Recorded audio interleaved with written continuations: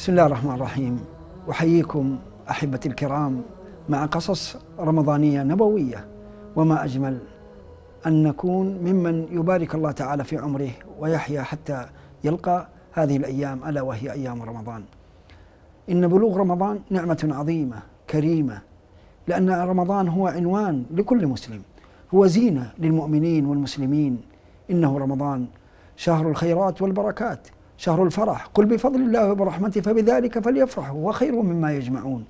هذا الشهر الذي تفتح فيه أبواب الجنان وتغلق فيه أبواب النيران وتصفد فيه المرض من الشيطان. إنه رمضان. إذا أقبل فأقبلوا. إذا رمضان أتى مقبلا فأقبل فبالخير يستقبل. لعلك تخطئه قابلا فتأتي بعذر فلا يقبل.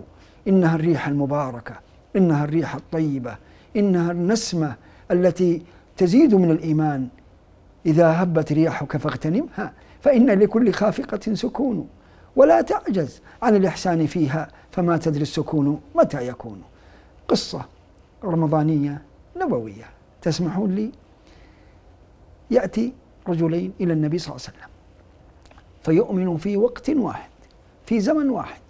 ثم يكون يكونون في ضيافة طلحة بن عبيد الله وهو من عشر بشرين بالجنة. طلحة الجود طلحة الفياض. أحدهم كان مجتهد في العبادة حتى أنه مات شهيدا والآخر مات بعده بعام. فنام طلحة فرأى رؤيا أنه تفتح أو يفتح أبواب الجنة فينادى بالرجل الذي مات على فراشه على فراشه فيدخل قبل الرجل الذي كان مجتهدا في العبادة ومات شهيدا. فتعجب طلحة. فسألوا النبي صلى الله عليه وسلم قال تعجبون؟ قالوا نعم يا رسول الله. الأول مات شهيدا مجتهدا في العبادة. قال كم يا طلحة عاش بعده؟ قال عام سنة يا رسول الله. قال صام رمضان وصلى كذا وكذا من الصلوات.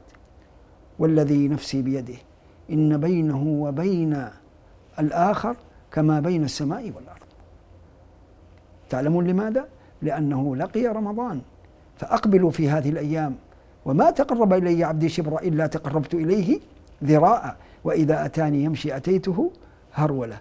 أقبلوا عليه واعلموا أن هذا الشهر تغفر فيه الذنوب وتستر فيه العيوب ويكشف الله تعالى فيه الكروب. من صام رمضان إيمانا واحتسابا غفر له ما تقدم من ذنبه. من قام رمضان إيمانا واحتسابا غفر له ما تقدم من ذنبه. لكن ثم ولكن قبل أن تبدأ مع هذا الشهر أريد منك طلب. طلب لي ولك ولكل من يشاهدني. اعفو وتصافح وتسامح وتجاوز قبل دخول هذا الشهر تعلمون لماذا؟ لأن الجزاء عند الله من جنس العمل. إن تنصروا الله ينصركم. فاذكروني أذكركم. كذلك إذا أردت أن يعفو الله تعالى عنك ويتجاوز فاعفوا وتصافح. واعلموا تذكروا قوله تعالى والكاظمين الغيظ والعافين عن الناس والله يحب المحسنين. من اليوم تعازمنا ونطوي ما جرى منا فلا كان ولا صار ولا قلتم ولا قلنا كفى ما كان من هجر كفى ما كان من هجر فقد ذقتم وقد ذقنا وما أحسن أن نرجع إلى الوصل كما كنا. اعفوا وتصافحوا مع دخول هذا الشهر واعلموا أن هذا الشهر مبارك عظيم عند الله عظيم. اعلموا كذلك أن هذا الشهر ينبغي لنا لنا أن نعظمه لأنه عظيم عند الله. ومن يعظم شعائر الله فإنها من تقوى القلوب من تقوى القلوب. بتقوى الإله نجا من نجا وصار وفاز إليه من رجا. ومن يتق الله كما قال تعالى يجعل له مخرجا. كل الناس في هذه الأوقات والساعات يفرحون بهذا الشهر. الصغير والكبير القريب والبعيد الذكر والأنثى. فافرحوا به. بل أن بعضهم أنا أجزم يقينا أن عند قدومه يبكي فرحا. طفح السرور علي حتى أنه من عظم ما سرني أبكاني وأحسن عند دخوله. نقطة كلمة همسة رسالة. انوي من الآن. نية صالحة نية صالحة نقية تقية أن تحسن في هذا الشهر. فاعلم أنه لو منعك من الصيام أمر من أقدار الله. ستؤجر على هذا الشهر. لأن النبي صلى الله عليه وسلم قال من هم بحسنة ولم يفعلها كتبت له حسنة. والله سبحانه وتعالى يعطي على القليل كثير يعطي على القليل كثير. ولا تغفلوا عنه أبدا لا تغفلوا عنه. هذا الشهر نهاره صيام وليله قيام بينهما قراءة كلام الواحد العلام. فأحسنوا يا كرام يا أبناء الكرام ولا تغفلوا تغفلوا عنه. يا غافلا عن مصيره يا واقفا في تقصيره. سبقك أهل العزائم وأنت في اليقظة نائم. قف على الباب وقوف نادم. ونكس رأس الذل وقل أنا ظالم. فاستبقوا الخيرات وتنافسوا إلى رضا رب البريات.